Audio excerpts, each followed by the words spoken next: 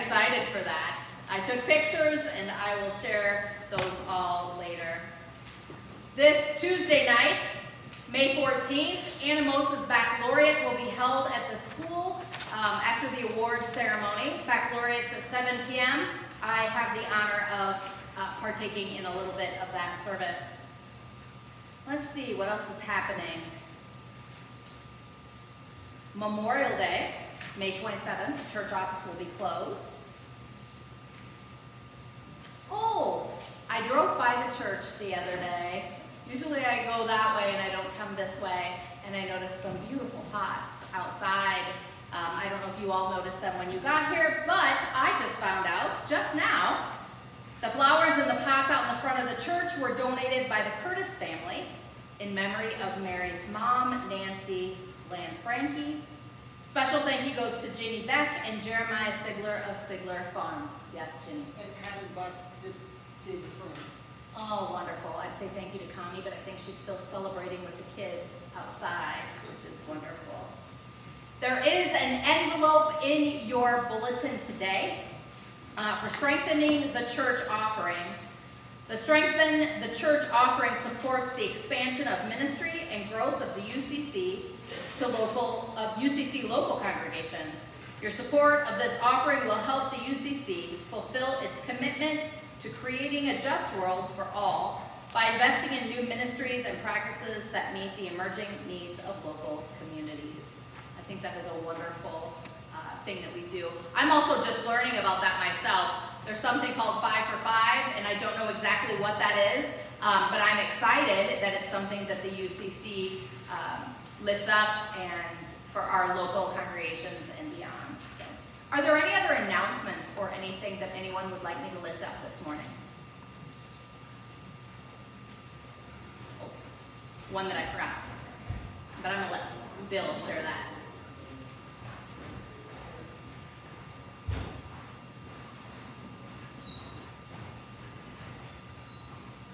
Uh, just a reminder that uh, I have uh, tomato plants out on the east side after church. So anybody that wants to add some to their garden, you're welcome. There was also some other plants out there, right? Right. Cucumbers maybe, I can't remember what I saw, but um, he's put a lot of hard work into that and what a beautiful gift to offer it to these people. Thank you. Thank you. Anything else we need to lift up today? It's a beautiful day to be alive. It is a beautiful day to be alive. Amen. Great. Um, Sunday, June 2nd, I will um, will be having my installation here. I think that's in the bulletin as well, right? Um, I would love to see as many of you that are able to come on that day. I know it gets busy in June, uh, but it will be a wonderful, wonderful time. There will be treats afterwards. That's how we're Jeff here. So? And there were some birthdays. I know we sang happy birthday to some of these people last week, and so maybe we shouldn't sing again, but I'd like to lift up Ross and Susie both had birthdays in the last couple days. Is there anyone else? Bill turned 30 this year. Ty, yep. Did we sing happy birthday to Bill? I don't think we did. Let's do it. Can we do it? I think so.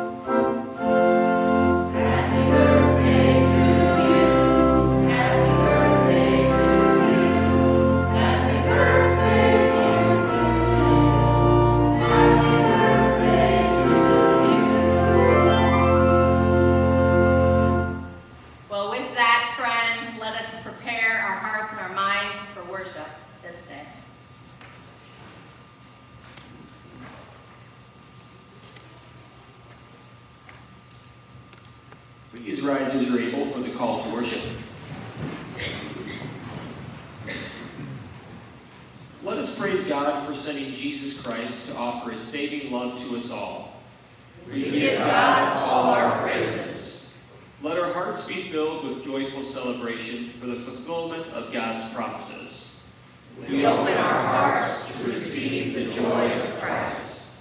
Let us move forward with Jesus Christ as our guiding light. The light of Jesus Christ is shining in each of us. Come, let us worship our risen Christ, whose love and light guide us still. Let us join together to sing hymn number 319, Blessed Assurance, found on page 319 of your hymnal.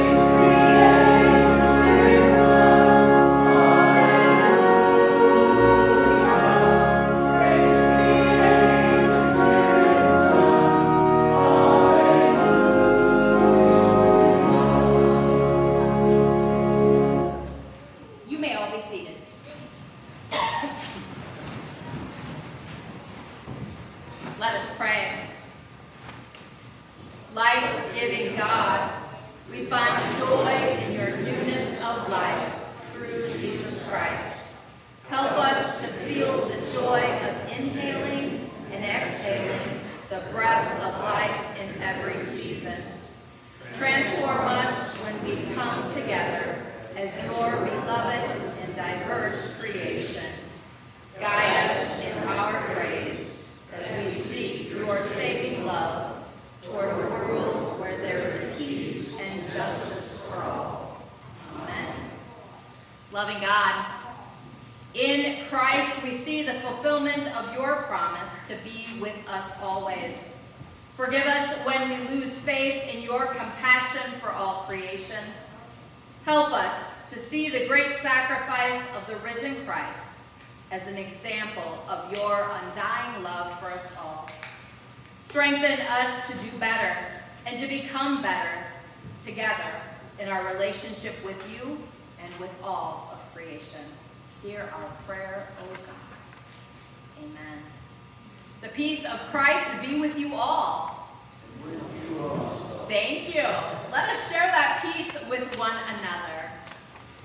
Peace be with you all.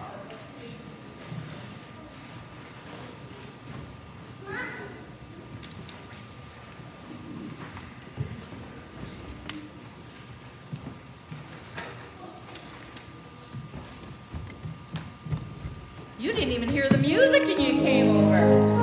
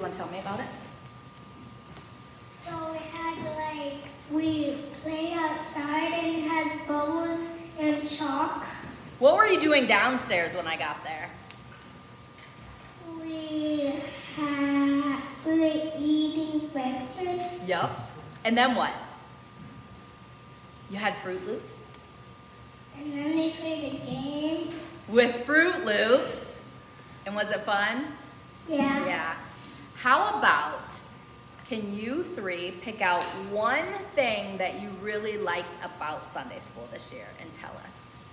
Can you think of one thing? What was your favorite thing?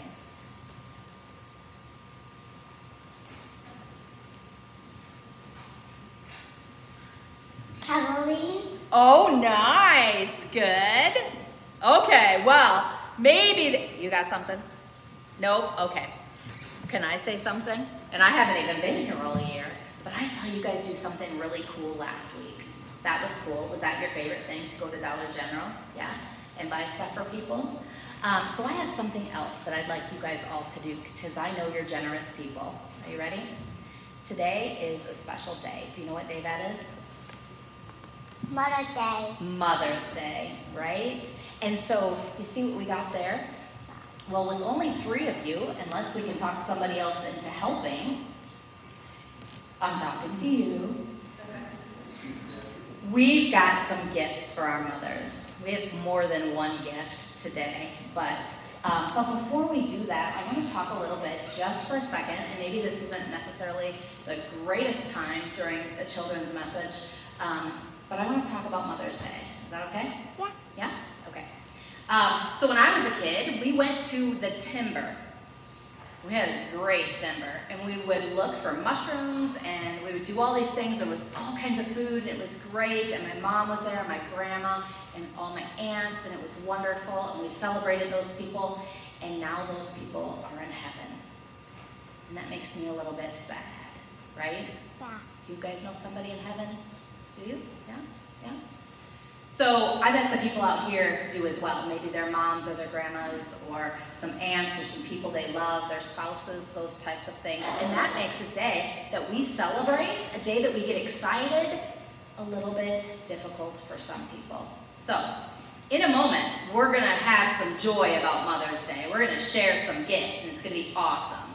But before that, would it be okay if I prayed? Is that okay with you guys? All right. God of all creation, pour out your blessing on all mothers, expectant mothers, and those who provide motherly care.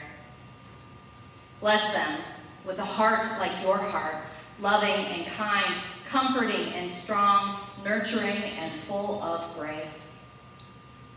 Lord, we ask you to console all who long to be mothers. anyone grieving the death of a mother, and mothers who have lost a child.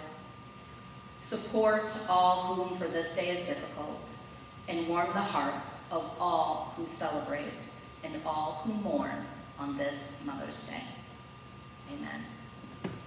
I wish, I wish that video would take a picture of these guys. I need to have you sit here because they were all up here folded with their hands folded and their eyes closed and it was just absolutely beautiful. Somebody has taught you well to pray. Good job. Okay, so now we're gonna celebrate. Oh, and guess what else? There's cake. Do you guys love cake? Yeah. No? Yeah. Oh my gosh, save my, save your frosting for me. Okay, so there is cake that we're gonna get to celebrate. We're gonna have another special gift in just a The pastor said a little bit earlier, uh, although this is a very joyous day, there are probably a lot of people in this room, uh, including myself, who uh, are missing their mothers on Mother's Day. And this is an old country song that I've known for a long time and like. It's called If I Could Only Hear My Mother Pray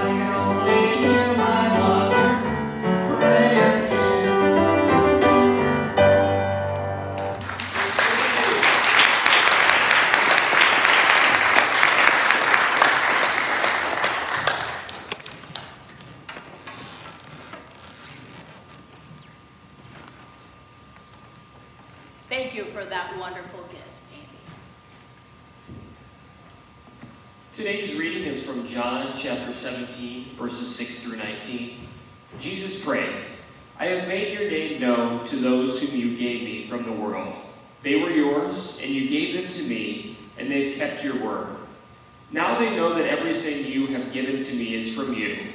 For the words that you gave to me, I have given to them. And they have received them, and know in truth that I came from you. And they have believed that you sent me.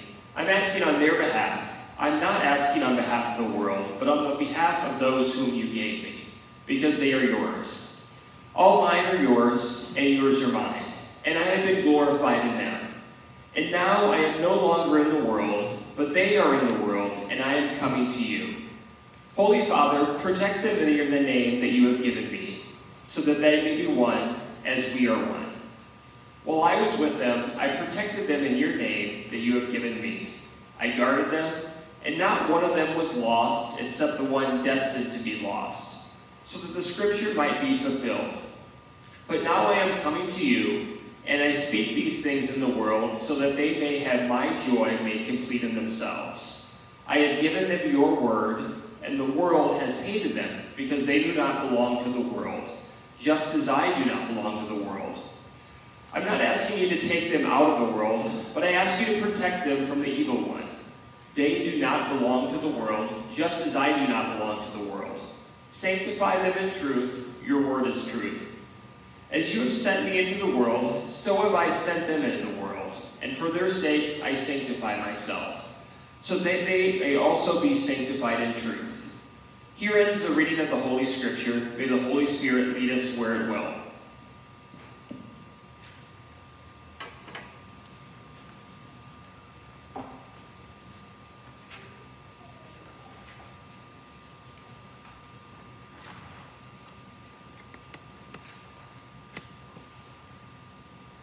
Well, grace and peace to you all from God, our Creator and our Lord and Savior, Jesus Christ. Amen. Did you all catch what was happening there in that reading? That piece of scripture. A little bit of context here then. Some of these texts do get a little confusing, right? I think especially at this time because we just celebrated Jesus' resurrection, right? And here we are, hearing from Jesus before he dies. This piece is a prayer that Jesus is praying. It's a part of his final farewell discourse to his disciples. The prayer that we hear Jesus pray today is right at the end of his very long goodbye, right before he is arrested. Jesus, I always say Jesus is pastoring to his disciples, but Jesus is trying to make sure that his disciples feel prepared. He's trying to make sure that they feel equipped to live their lives without him here on earth with them. And it's shared with us, with each, with each of us also, because we need to be equipped to live without Jesus physically present on the earth with us. We need to figure out and be ready and be prepared to live as the body of Christ in the world.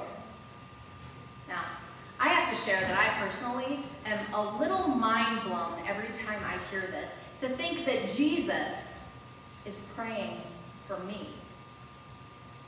Jesus is praying this prayer not just for the disciples that he walked with, that he taught with, that he healed with, that he did all those things, right?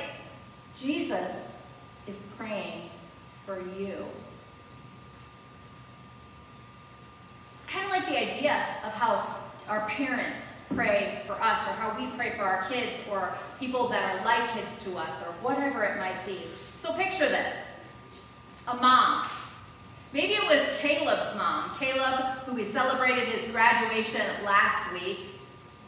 Maybe it's Caleb's mom, bidding farewell to her son who's leaving for college. Caleb is sitting in a piled high car where it's piled high with all of his clothes and supplies and all of the things for the next stage of his journey. And mom is running behind the car as it pulls away out of the driveway. Don't forget to test the smoke alarm. Call me when you get there. Hey, oh my gosh, did you pack your charger? Because you're going to need to call your mom. You get the picture, right? Like a caring mother saying goodbye for now, Jesus wants to make sure we too are equipped, maybe with some different things. But Jesus is definitely running behind us when we're in the car. Like a loving parent, Jesus wants us to live in his example, remembering everything that he has taught us and wanting us to live into our very best selves for us for everyone around us. Jesus was fully aware of all of the dangers and the trouble that this world has, right? Including the temptations. Mom would say this, make good decisions, drive carefully, go to class, and do not go to too many parties. I could also add something that Jeff always says here, let us know when you get there. And then I would add, don't forget to call your mother. And just like a loving parent, these are things that God is asking from you as well. God is asking you to keep in constant contact with Him, not by picking up the phone, but by prayer. God wants to know you've arrived safely at your destination. And so Jesus prays to God with his disciples listening. And I think that was intentional, right? He prays this I ask you to protect them from the evil one. Jesus prays especially about the world. There are many joys in this world, and I do believe Jesus prays for that as well. But that's not what Jesus is praying about here. And when we're talking about the concept of the world, because it's mentioned over and over again, it's not referring to God's creation of what we see as the world. What Jesus is referring to is what's outside of this space, right? The world. The world's dangers, temptations, and the culture of the world are different than what we get when we come in here on a Sunday morning. The world is a hard place to be for all of us, but Jesus doesn't place any blame for that. We blame other people when things in our lives don't go right kids, friends, schools, employers, churches. It is a hard place to be. It's clear, though, that Jesus doesn't hate the word, world or want to destroy it. Remember John 3.16? God so loved the world that he gave his only begotten Son, that we may not perish but have eternal life, right? God created the world, but somehow it got horribly off track. So God came into the world as Jesus to show us love, to show another way, to redeem the world. Now, just a few sentences before this gospel text, Jesus says, Take courage. I have conquered the world. By dying and rising again to give life to the world, he's shown that the powers of the world, all of this out here, outside of these doors, are nothing. They won't have the last word. By his death on the cross, he's shown the cruelty of the world. He's conquered the world, but not to destroy it. He's conquered the world in order to give the world and you and me new life. So if mom or dad says to their child, be sure to call us if you need anything, we'll be there. Jesus says, all mine are yours and all yours are mine. May they be as one as we are one. Through this prayer, Jesus is affirming that even though he won't be there in person, God and the apostles will still always be intimately connected. Will still reveal God's word to them. And they'll have their belief and faith that guides and motivates them. They will have a sense of belonging, a relationship with God that will sustain them. Doesn't this sound like the way we may send off our kids to whatever part of the journey is next for them?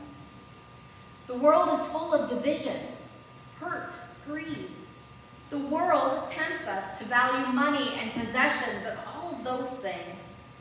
And the world tempts us to just think of ourselves. That's the culture we live in when we go out into the world. But that is not the culture that we have in our hearts. That's not who we are. And that, by gosh, is not how Jesus raised us. Jesus is asking that we would remain true to our values and identity as citizens of the kingdom of God. Values of forgiveness, generosity, love, truth telling, and standing up for the poor, the forgotten, and the ones who are grieving. Mom says, Have fun. Jesus says, I speak these things in the world so that they may have my joy made complete in themselves. Now that's a little bit more than the mom simple have fun, right? Fun is a momentary fleeting feeling, but joy is something so much deeper. A more lasting contentment, not based on outside worldly influences. Jesus says, in a little while we won't see each other, but I encourage you all to stay connected. Act on your values, remember who you are, remember whose you are, and be joyful. so the image I have in my mind right now is all of us coming together in this space every Sunday morning, like the college student, bringing their laundry in to be cleaned and folded and all of that. We come together to speak our native language of forgiveness, generosity, and love, to be strengthened against the temptations of this world, to stay connected with God and our family and our faith family, to experience joy, and to be equipped, equipped to go back out into the world. Amen.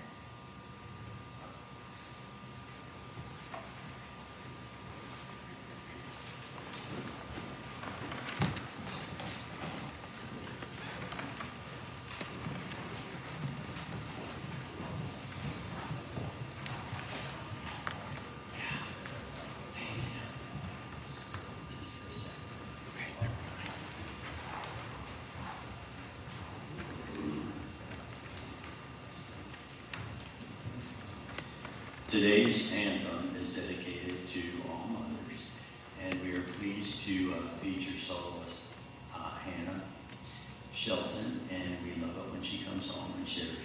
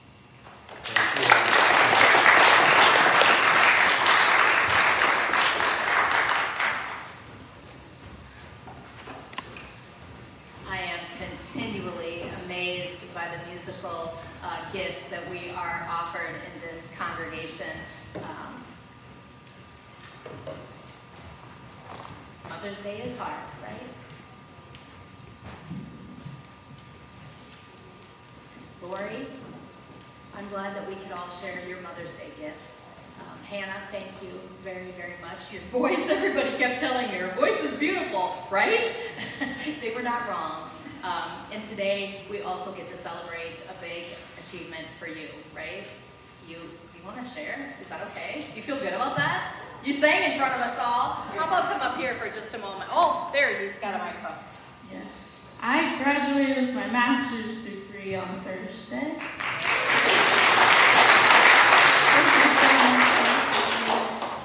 Now I gotta find a job. uh, we stand in celebration with you. Thank you so much for being here this day. Loretta. I would like to thank the deacons for the beautiful card they. Yes, deacons, thank you. Thank you.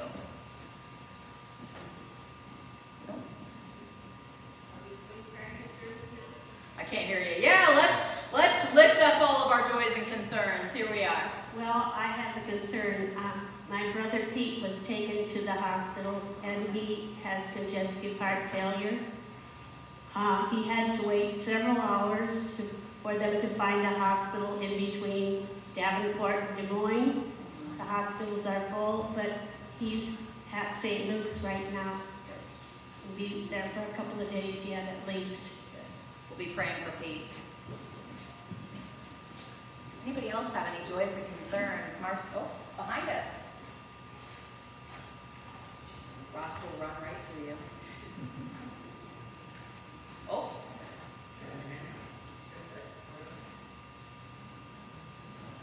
Oh, Ross up here.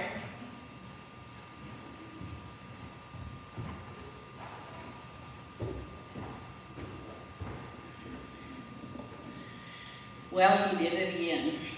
Our awesome grandson Anthony not only beat the school record in discus two weeks ago, he beat his own record this week. Wow.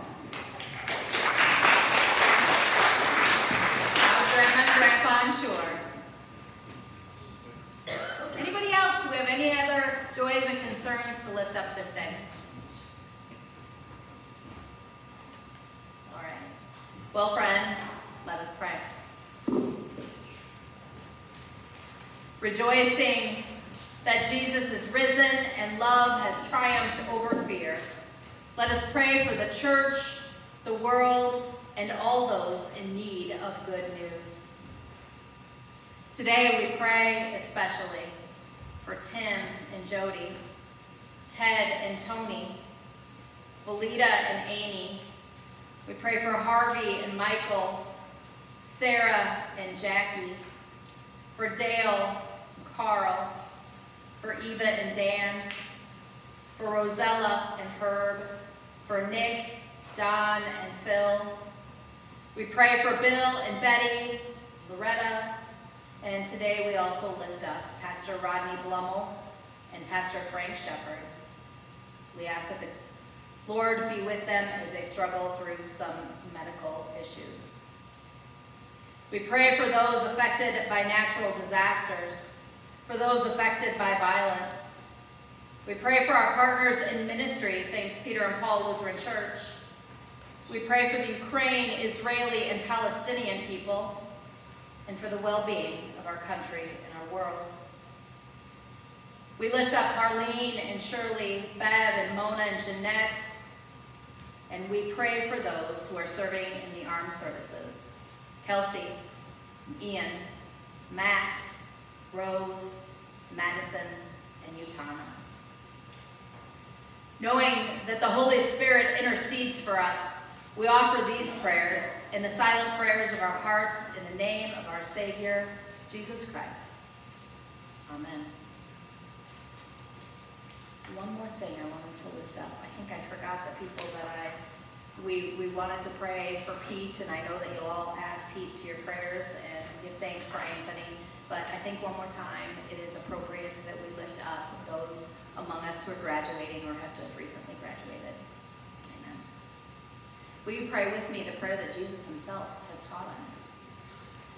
Our Father, who art in heaven, hallowed be thy name. Thy kingdom come, thy will be done